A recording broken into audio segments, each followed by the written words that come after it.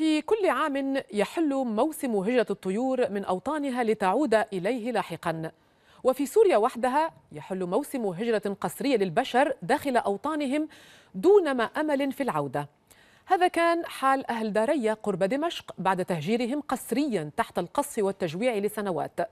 تهجير يقول ساسة المعارضة السورية إنه تكتيك إيراني من تنفيذ دمشق. وإن أهدافه بعيدة ولا تقتصر على بضع مناطق هنا أو هناك بل هي سياسة هدفها التغيير الديموغرافي لصالح طائفة دون أخرى. ومؤخرا بدأ النظام بتكثيف قصف حي الوعر الحمصي وتهديد المعظمية قرب دمشق لغاية يعتقد أنها استكمال لهذا المسلسل.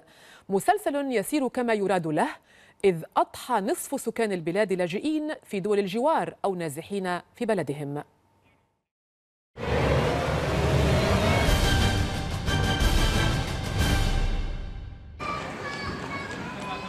وقعت المعارضة السورية في فخ الحصار. تكتيك من العصور الوسطى لم يسلبه الوقت نجاعته.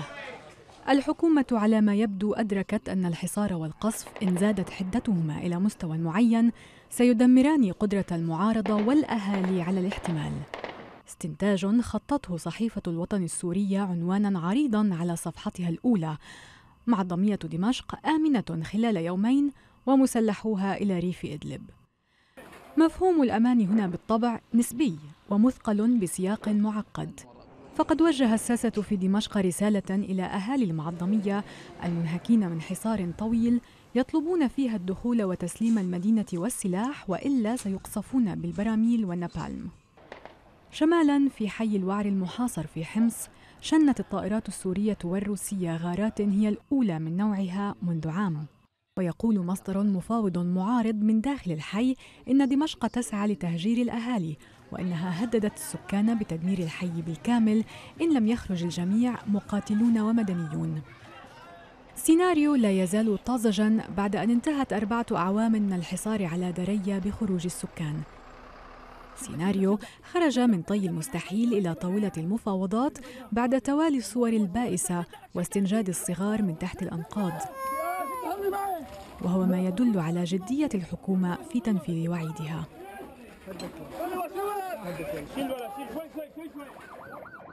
على الجهة الأخرى من المعركة ومن صفوف المقاتلين المنسحبين أو الذين سينسحبون يذيل الناشطون تقاريرهم بالتذكير بمحرمات القانون الدولي كترحيل المدنيين والتجويع.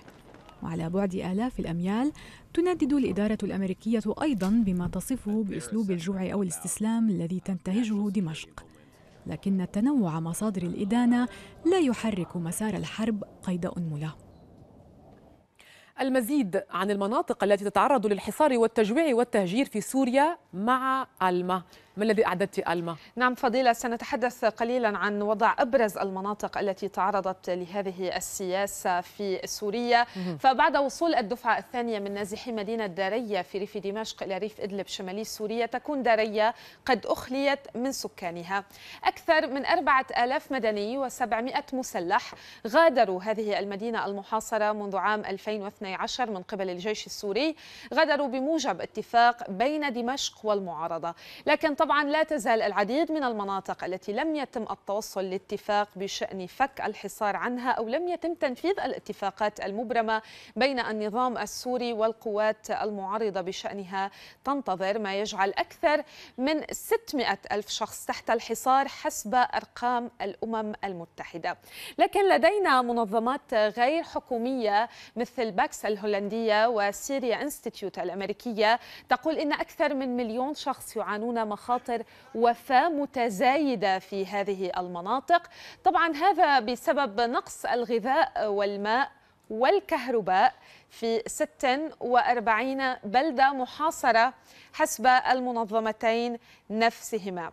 لعل أبرز هذه المناطق لدينا مضايا التي حاصرتها قوات النظام السوري مرات عدة خلال السنوات الخمس الماضية لكن ميليشيات حزب الله أطبقت الحصار عليها منذ يونيو أو يوليو 2015 يعاني أكثر من 40 ألف شخص من هذا الحصار وآخر قافلة مساعدات دخلت البلدة كانت منذ أكثر من ستة أشهر. لدينا الزبداني التي توصلت الحكومة السورية والمعارضة إلى اتفاق بشأنها يقضي بإجلاء محاصريها مقابل إخلاء أفراد قريتي الفوعة وكفرية اللتين تحاصرهما المعارضة لكن ذلك لم ينهي الحصار حتى. ثم هناك أيضا لدينا حي الوعر آخر الأحياء التي بقيت تحت سيطرة المعارضة السورية في مدينة حمص وسط البلاد. على عانى هذا الحي من درجات تعدى من الحصار منذ نحو عامين. تعيش فيه 12 ألف نسمة يفتقدون لمقومات الحياة الإنسانية. رغم كل الاتفاقات التي توصلت إليها قوات الجيش السوري والمعارضة. الآن بالنسبة للمناطق المحاصرة من قبل المعارضة لدينا نبل والزهراء. قريتان متصلتان في ريف حلب شمال البلاد تخضعان للحصار منذ عام 2012 يقطنهما نحو 70 ألف شخص. إضافة طبعا إلى كفرية والفوعة في محافظة إدلب والمحاصرتين منذ مارس 2015 حيث كان عدد من أهالي القريتين غادروا ضمن اتفاق وقف إطلاق النار والذي طبق نهاية ديسمبر والذي تم بموجبه أيضا السماح بدخول المساعدات وإن كانت طبعا هناك الكثير من الانتقادات فضيلة حول كل هذه الاتفاقيات حول طبيعة تنفيذها، آلية التنفيذ، الأطراف المشاركة فيها إلى آخره من كل هذه التفاصيل. بالتأكيد ألما سنعالج هذه القضية أكثر مع ضيفنا من بيروت رئيس منظمة جاستيسيا الحقوقية الدكتور بول مرقص، مساء الخير دكتور بول مرقص، من الواضح أن هذا التهجير القسري ليس مجرد نتيجة للعنف بل آه، هو هدف محدد سلفا كما يقول الكثيرون كم تحقق للنظام برأيك من هذا الهدف؟ بطبيعة الحال إن أي طرف من أطراف النزاع الذي يدأب على هذه الممارسة الخارجة عن القانون الدولي الإنساني إنما يرتكب جريمة ضد الإنسانية جريمة حرب جرائم تنتهك اتفاقيات جنيف الأربعة لعام 1949 والبروتوكوليين الإضافيين لها لعام 1977 خصوصا البروتوكول الإضافي الثاني.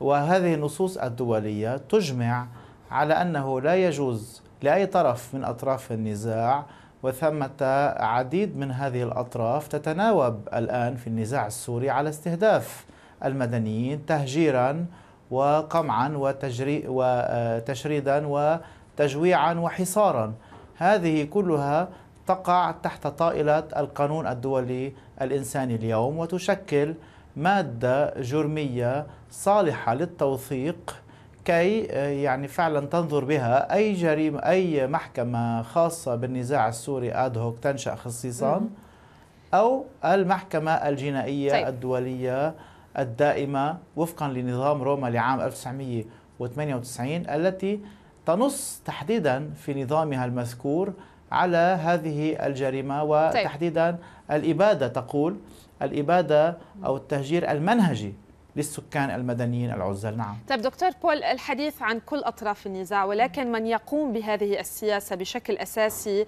هو النظام السوري الذي من المفترض هو قائد للدولة بطريقة أو بأخرى.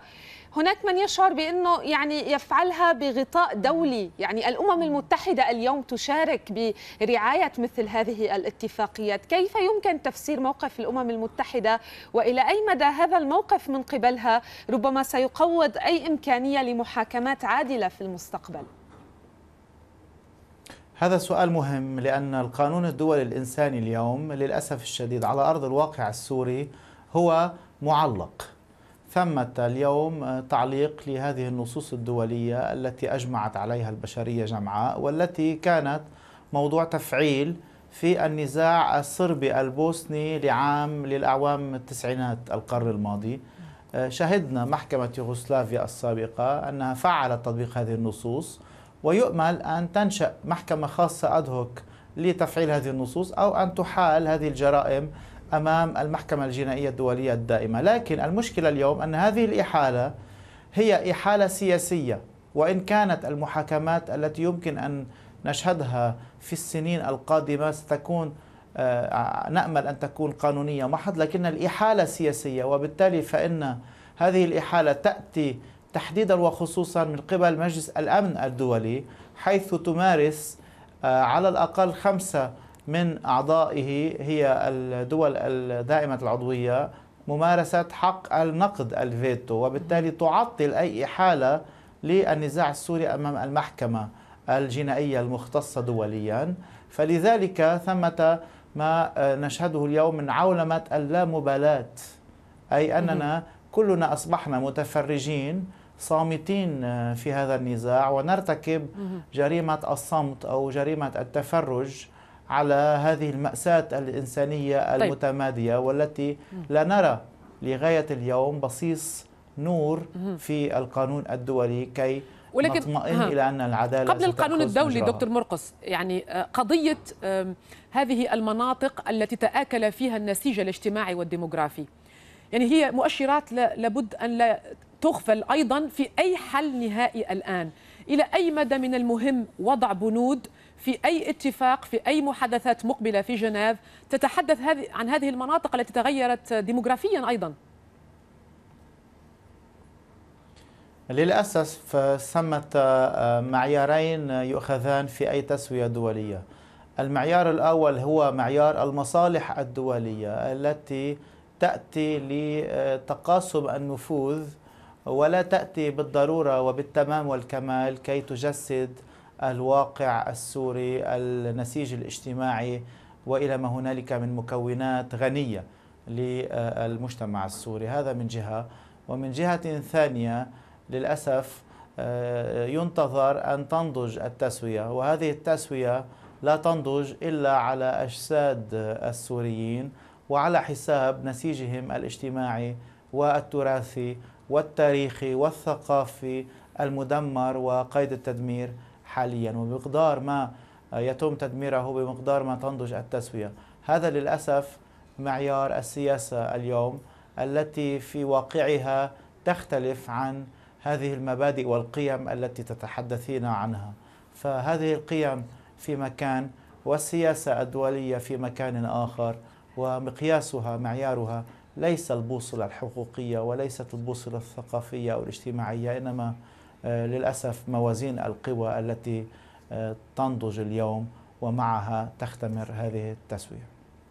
طيب آه، دكتور بول السؤال هنا في هذه الحالة التهجير القسري الذي يحصل ليس فقط إبعاد الناس من المناطق وإنما يتم ربما تزوير بعض الأوراق حرق لسجلات مدنية يعني هؤلاء الناس ينتزعون بكل الأشكال من أرضهم.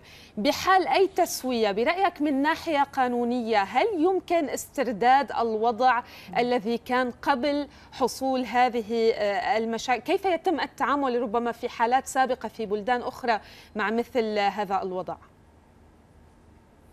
هذه إشكالية صحيحة وقد تمت معالجتها في عدد من البلدان التي شهدت حروبا ونزاعات مسلحة مسلحة مدمرة خصوصا في الجانب الإفريقي.